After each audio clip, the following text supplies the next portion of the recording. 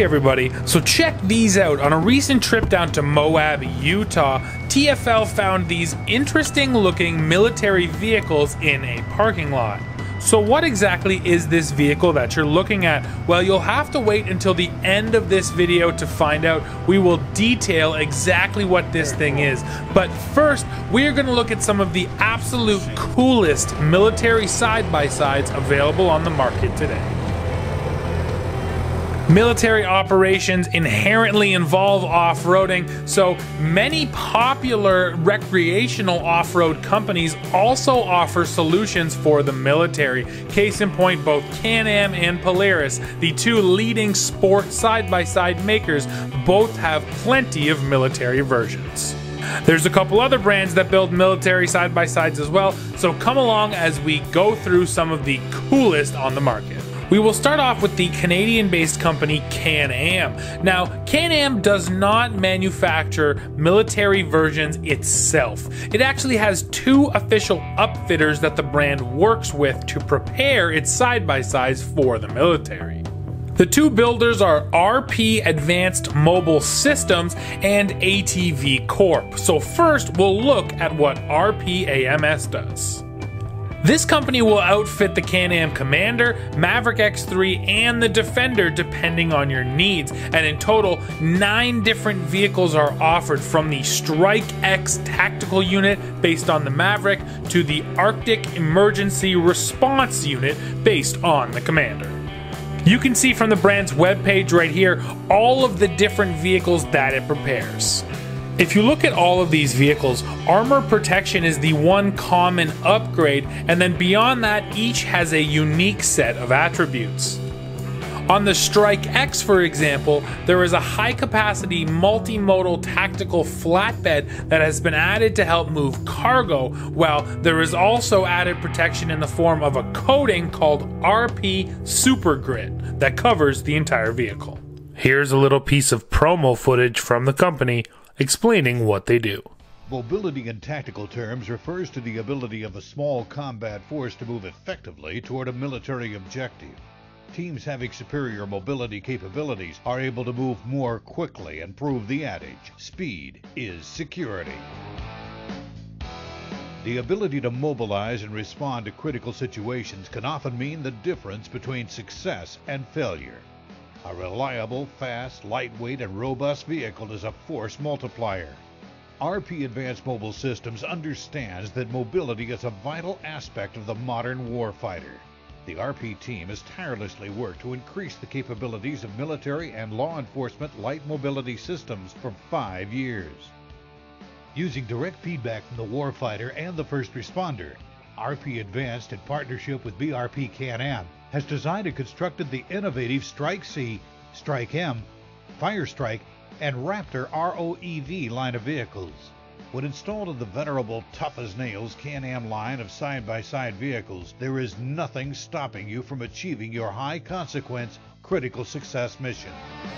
Then you have something like this Fire Strike 6x6. Now, this thing is not meant for the military, it's meant specifically for fighting fires, and that means it comes with run flat tires, six wheel drive, an 85 gallon water tank with a high pressure pump, and a 50 foot hose.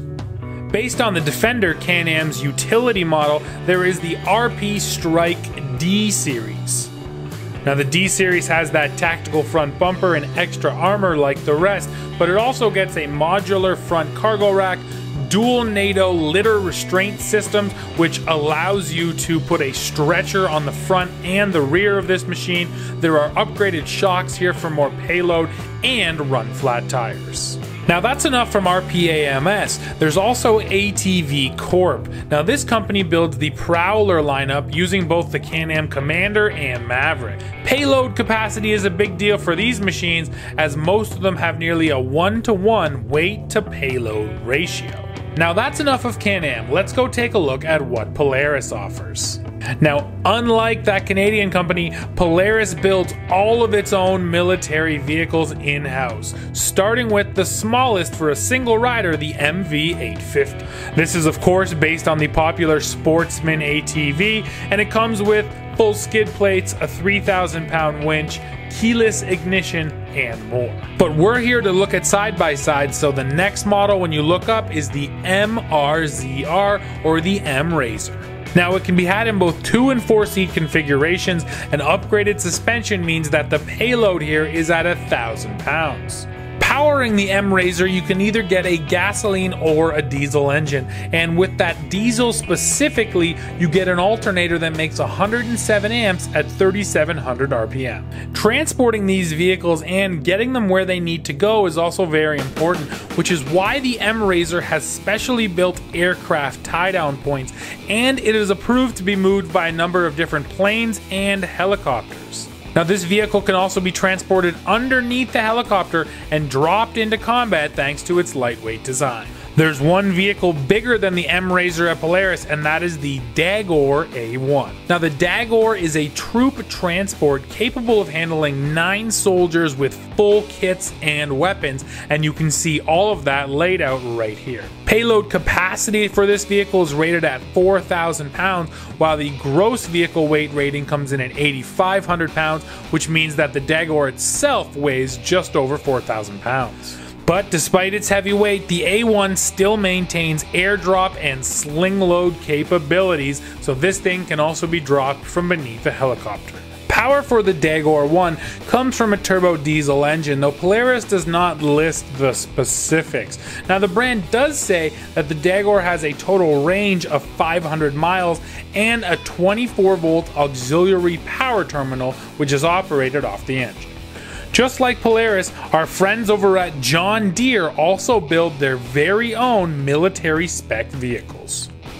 Though it definitely leans towards the utility side of things, take a look here at the M Gator A1. Power for the A1 comes from a 20.8 horsepower three cylinder diesel engine. Now, out back is where the A1 is really going to earn its money. It has a 10 gauge steel bed designed to carry 1,000 pounds of payload. Reconfigurable bed walls means that there are a number of different ways you can use the bed on this machine to make sure it's ready to carry just about anything. Now the frame here has been reinforced to prepare for those airdrops, while tie-down points are also fitted to make sure this vehicle can be transported inside of airplanes and helicopters. John Deere also has a smaller option. This is the M Gator A3T, which comes with a full cab enclosure and is capable of handling 1,400 pounds. Next up, we're going to look at what could be the future of the military. This is the Nikola Reckless. Now, you might remember the Nikola NZT. That's a side by side the brand is preparing to release next year.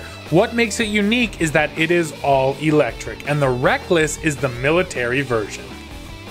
So the Reckless packs 590 horsepower and 775 pound feet of torque. But most importantly, Nikola says the range is 150 miles. When it does come time to recharge, if you have a DC fast charger, the Reckless can regain up to 80% of its battery life in just two hours. Using an all electric powertrain is appealing for a few reasons. First of all, it is silent. Second of all, because of the lack of internal combustion, there is no air needed, so technically the Reckless is entirely waterproof.